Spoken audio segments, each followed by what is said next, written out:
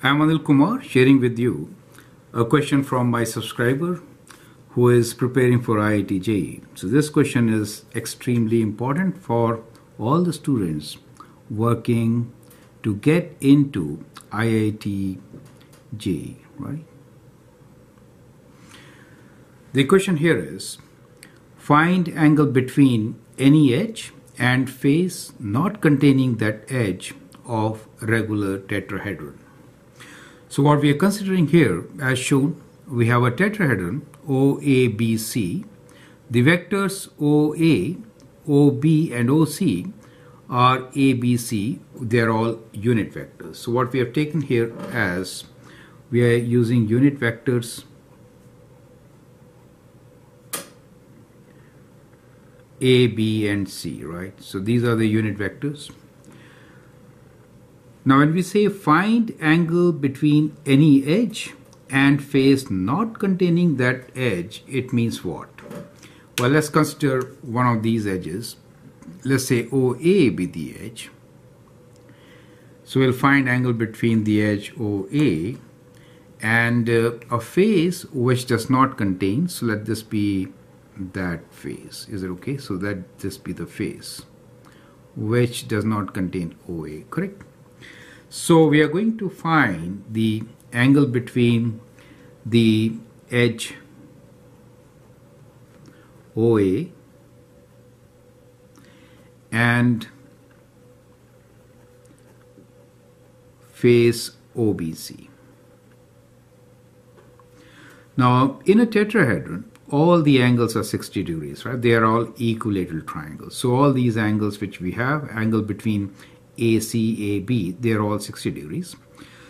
Now, when we say angle between the edge OA and the face OBC, it really means that the whole face, we have to check the center line going through it, which is the angle bisector at O. I mean, this line. Is it okay? So the angle which we are interested in finding is between the face and this line the bisector of the angle BOC. So what is the bisector along angle BOC? Uh, well, the bisector along BOC, if you if you extend this, I mean, I mean, if I do this kind of like that, you see the parallel line to this is here. Parallel line to this will be kind of like this. Uh, and when you extend this it will kind of meet here. Okay. So that is basically this is B and that is C. Is it okay? So this is parallel to C. Therefore this line can be treated as uh, along B plus C so the bisector along this is, is along the vector b plus c. Now that is for unit vectors, right? So that is the direction.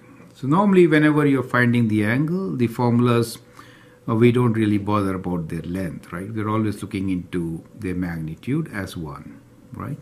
So basically, the question boils down to finding angle between OA and this line let me call this as O let me call this as as P for example OP is that clear? And this OP is along B plus C as you can see. You can kind of extend and figure it out that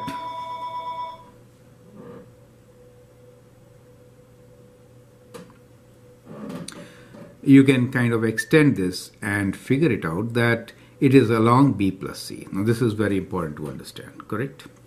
Okay. Now the angle between AB and AC are 60 degrees. So we know cos 60 is half, right? Okay, so with that let's let's begin. So we have cos 60 degrees is half, right? Now what is the angle between A and B plus C is that is our question. Let's call this angle as theta. So, so we can say that cos theta is basically equal to the dot product of these two vectors which is A dot b plus c, right, divided by magnitude of a times magnitude of b plus c. So that is the basic definition of dot product. So cos theta is this angle, correct? Now we could always expand the numerator and could write this as a dot b plus a dot c. The magnitude of a is 1, right? So, and we need to find what is the magnitude of b plus c. So let me first write magnitude as such and we'll try to figure out what is the magnitude of b plus c. Okay, now a dot b is ab cos 60 degrees since that angle is 60 degrees. a dot c is also magnitude of a times c times cos 60 that is also half. We know magnitude of a is 1 but we don't know what is b plus c. So let's figure this out. So magnitude of b plus c, we could say square of this is equal to the dot product of uh, b plus c with b plus c, correct? Which is b dot b plus 2 b dot b plus c dot c right? So which is uh, square of this magnitude uh, b square plus twice, I mean b dot c, I'm sorry, twice b dot c, the angle between them is 60 degrees, so it is twice magnitude of b times magnitude of c times cos of 60 degrees plus magnitude of c square, right? So that gives us that is 1 plus 2 times 1 time 1 time cos 60 is half plus plus 1 right? So this gives you 1 plus 1 plus 1 as 3 so we get this magnitude as 3 units. So what is b plus c magnitude? B plus c magnitude will be square root of 3 correct? So that is what we get for b plus c. And now we can fill in these values here. I can write cos theta as equals to a dot b, which is which is uh, uh, ab cos theta, right? And 60 degrees is the cos theta, so it is 1 time 1 time cos of 60 degrees plus a dot c is 1 time 1 time cos of 60 degrees. And the denominator we just worked out a is 1 magnitude 1 time b plus c is square root of 3 correct? So that gives you cos of 60 is half so it is half plus half over square root of 3 okay so so that gives you 1 over square root of 3 right so from here we get the angle theta as equal to cos inverse of 1 over square root 3, correct? So from here we get theta equals to cos inverse of 1 over square root 3. So let's use calculator to find this angle. So we have shift cos inverse 1 divided by square root 3 equals 2.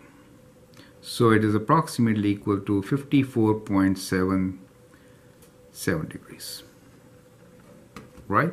So that is the angle theta which a face of a tetrahedron makes with the, I mean, the edge which makes with the face of any other tetrahedron which is not containing that particular edge, correct? So that is how it can be done.